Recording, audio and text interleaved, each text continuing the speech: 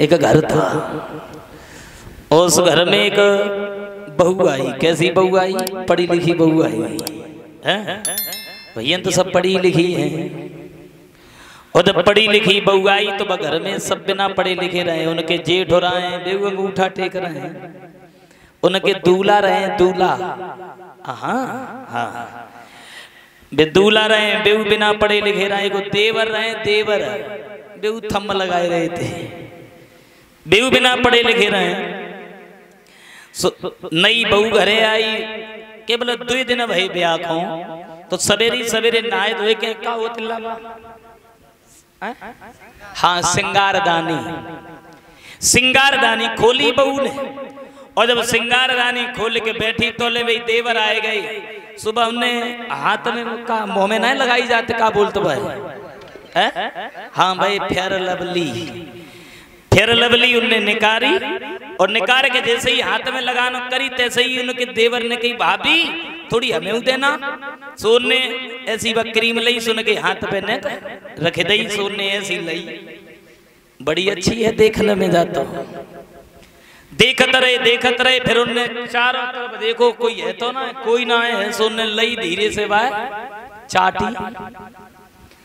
फिर लई, फिर चाटी त्योहारा में पूरी चाटी। पहुँच गए बोले भाभी। बहे वाली फिर देव जो अबे थोड़ी देर पहले दई थी।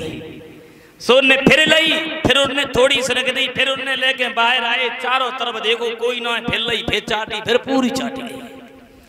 तीसरी बार में पहुँचे सो बोले भाभी तो बड़ी अच्छी लगत है। भाई ने कहा देव थोड़ी। सो भाभी को गुस्सा आएगी सुनने एक उनके खींच के झापड़ दो। अब भी रोअन लगे, रोए के जब बाहर चले तो उनके भैया, हल ले, चले आए। सोने कह रहे काय को रो रहे? बोले, रोए का रहे? हमें तो भाभी ने मारो। तो सोचन लगे, काय मारवे? हतो चार छह महीना बाद मती अबे दो दिन भय आए मारे, वो शुरू कर दो, गाँव के लोग का कहे? हैं? चलो, पहले हम तुम्हारी भाभी से निपटेंगे।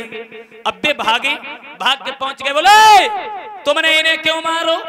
जवाब दो जे बेर बेर हमसे क्रीम मांगते क्रीम। so, उनने कही क्रीम?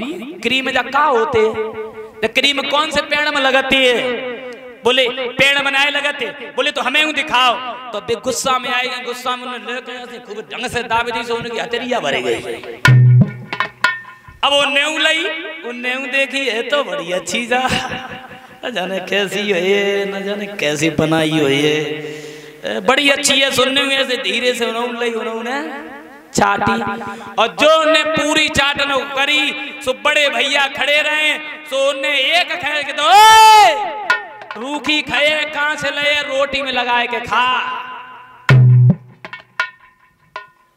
तो देखो बैठे बैठे जब क्रीम सीना चाटो।